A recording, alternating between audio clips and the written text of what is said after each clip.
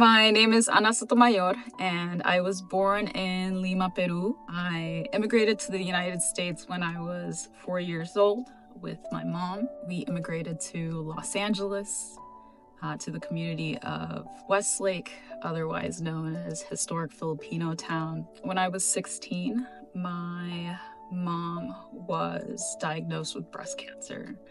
Um, it was uh, a very difficult experience um, to be the eldest daughter um, in a household.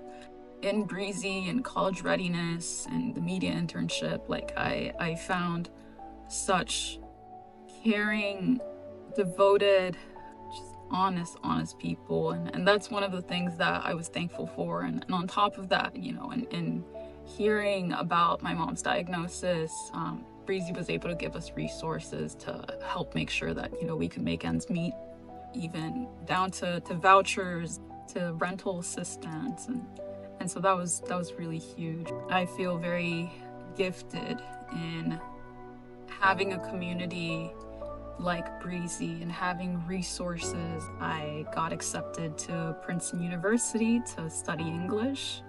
It was a testament to my resilience and a testament that investing into the community really works. I would not be where I was without without communities and, and organizations like Breezy.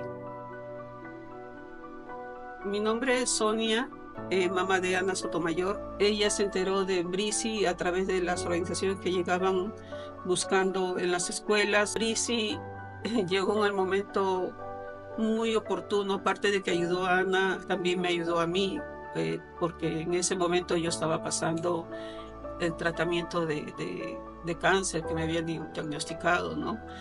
Pude sentir, palpar la ayuda de, de Brisi y el impacto emocional que vivía en esos momentos fue tan gratificante de, de estar aquí con Brisi. Ellos ayudan a la comunidad, ellos involucran con la comunidad.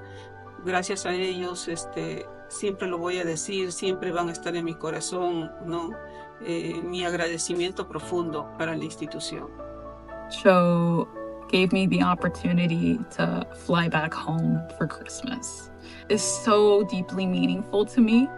Um, because I, I, got to see my mom. I got to see my, my little sister now. Ana and I met when she became part of our internship program, probably roughly around 2015 or 2016.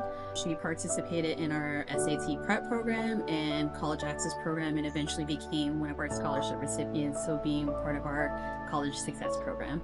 Hello, my name is Francisca Gomez. I am a high school unit field coordinator for Beyond the Bell branch. I worked at Belmont High School a few years back. And at Belmont, I had the privilege of meeting Ana. Ana's the type who will do anything for everyone because she's kind, compassionate, caring, but never loses sight of the goals. I am just so, so, so grateful to have found community like Bresee. You know, nothing will, will ever be enough. Um, in in speaking highly of, of Bresee and the work that they are doing.